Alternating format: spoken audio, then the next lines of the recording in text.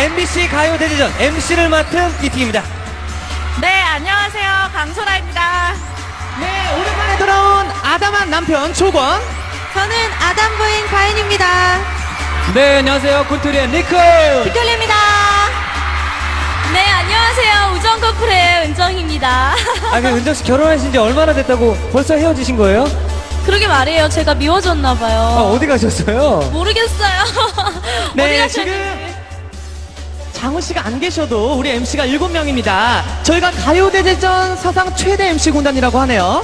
네, 그럼요. 이번 가요대제전은 특별히 여기 광명, 어, 스피드업으로 나왔잖아요. 긴장돼서 어제 한숨도 못 잤어요. 네, 저도요, 민폐 MC가 되지 않도록 열심히 하겠습니다. 근데 장군님은 벌써 민폐 MC가 된 것 같네요. 그러게 말이에요. 네. 은정 씨, 장군님이 뭐예요? 아무튼 정말 각양각색 8명의 MC 군단이 함께하는 2011 MBC 가요대제전 2011년을 빛낼 최고의 가수들이 한자리에 모두 모였습니다. 네, 무려 43개 팀 171명의 가수분들이 저희 가요대제전에서만 볼 수 있는 상상을 초월하는 멋진 무대를 보여주신다고 합니다. 네, 바로 그 주인공 여러분들이 이곳에 모두 모여 계신데요. 가수 여러분들 어디에 계시죠? 궁금하시죠? 네. 여러분들도 궁금하시죠? 네. 자, 2011 MBC 가요 대제전 그 주인공 여러분들을 소개합니다. 다 함께 한번 외쳐볼까요? 하나, 둘, 셋.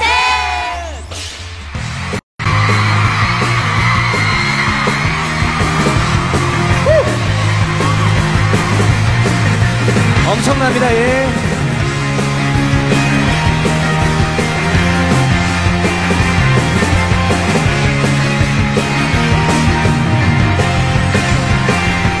스타분들은 큰 소리로 맞아주시기 바랍니다!